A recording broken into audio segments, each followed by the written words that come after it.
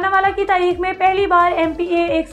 Chaudhary Mahmudul Haq Shaheen की क्यादत में मोटरसाइकिल रैली निकाली गई। जिसमें शहर के हज़ारों अफराद ने शिरकत की और शहर भर में हर तबके के लोगों का वालहाना इस्तकबाल भी किया गया, जिसमें सहाफ़ी, वकला हजरात, सियासी और समाजी शख्सियात के साथ साथ ताज़ा बरदरी और चेयरमैन और मम्बरान म्यूनसिपल कमेटी और मसीह बरदरी ने भी भरपूर शिरकत की और जगह जगह रैली को रोक कर फूल पाशी और रुपए उड़ाए गए, जिसमें खिताब करते हुए एम पी एक सौ इकतालीस चौधरी महमूद हक शाहीन ने कहा कि तेईस मार्च उन्नीस सौ चालीस पाकिस्तान की तारीख का बहुत बड़ा दिन था। इस दिन करारदाद मंजूर की गई। मजीद कहा कि ये मुल्क इसके, ये मुल्क इसलिए वजूद वजूद में आया कि हम मुसलमान इसे अपनी इबादत इस्लाम के मुताबिक कर सकें और मुसलमानों का अलहदा मुल्क बना सकें। इस मौका पर अहले इलाका का भी कहना था कि फर्जंदे मानावाला ने मोटरसाइकिल रैली निकाल कर तहरीक रकम कर दी। रिपोर्ट कर रहे थे राना वहीद जरगर, ग्रेट न्यूज़ मानावाला। आज तेईस मार्च को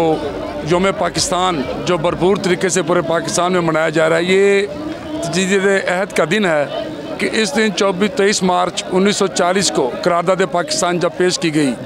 और उसका बाकस भी यही था कि एक ऐसा मुल्क जहाँ पर मुसलमान आज़ादी के साथ अपनी आबादत अदा कर सकें